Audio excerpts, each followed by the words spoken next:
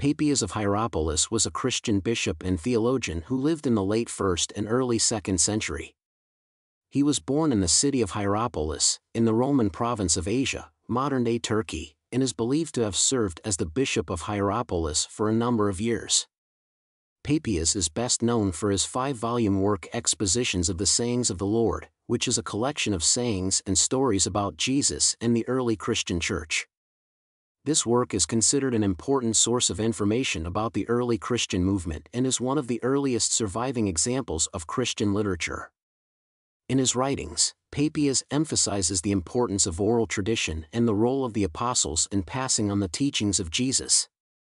He states, I will not hesitate to add to the interpretations as many traditions as I have carefully learned and carefully collected, to transmit to anyone who wishes to learn them, assured that they were recorded in the memoirs by the apostles.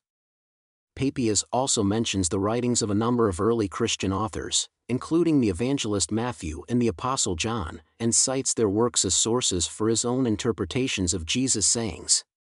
Papias is remembered as an important figure in the early Christian church and his writings continue to be studied and respected by many Christians today.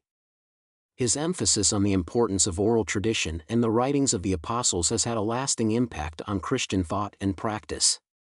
Thanks for watching. Don't forget to like and subscribe. God bless.